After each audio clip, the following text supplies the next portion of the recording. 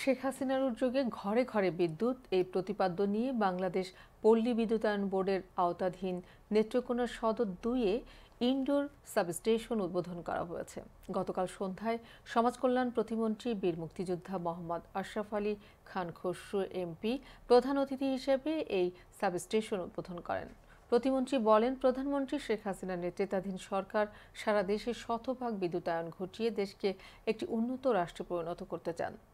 অতীতে যে কোনো সময়ের তুলনায় বর্তমান সরকারের সময়ে সকল ক্ষেত্রে অভূতপূর্ব উন্নয়ন সাধিত হয়েছে। সারা বিশ্বে আজ বাংলাদেশ উন্নয়নের রোল মডেল নেত্রকোনা পল্লী বিদ্যুৎ সমিতির জেনারেল ম্যানেজার মোহাম্মদ জাকির হোসেনের সভাপতিত্বে উদ্বোধনী অনুষ্ঠানে বিশেষ অতিথি ছিলেন বিদ্যুৎ, জ্বালানি ও খনিজ সম্পদ মন্ত্রণালয়ের বিদ্যুৎ বিভাগের যুগ্ম সচিব ডক্টর শাহ মোহাম্মদ হিলাল উদ্দিন।